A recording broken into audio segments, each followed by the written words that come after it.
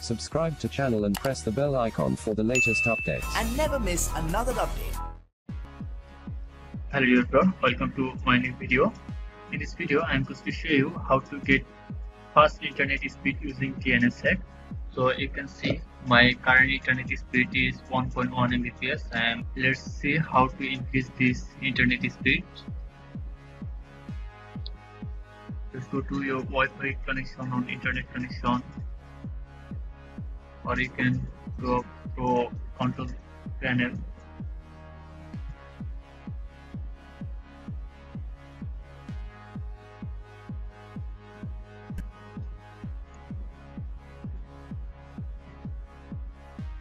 Click on the control panel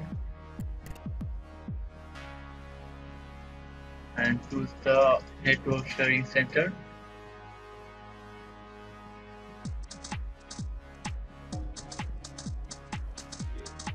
and you can see this is my internet connection.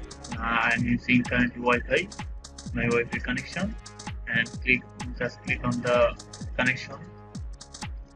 And now click on the properties. Okay.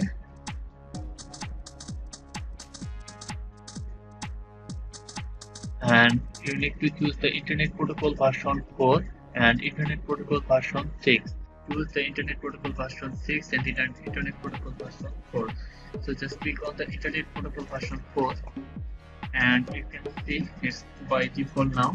And you need to just choose using flowing DNS server address. If you want to use Google Internet Protocol server, then choose 888888 and the alternative DNS server is 8844. Okay. And the others serve uh, IP46 IP is this one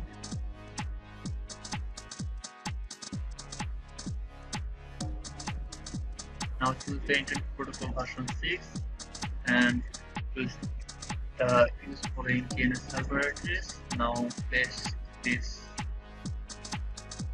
another alternate DNS server this one and press OK now click OK and let's check out.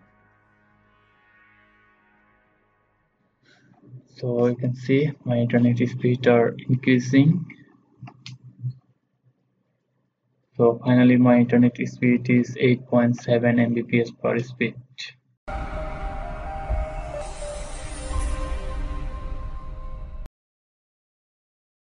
Subscribe to channel and press the bell icon for the latest updates. and never miss another update.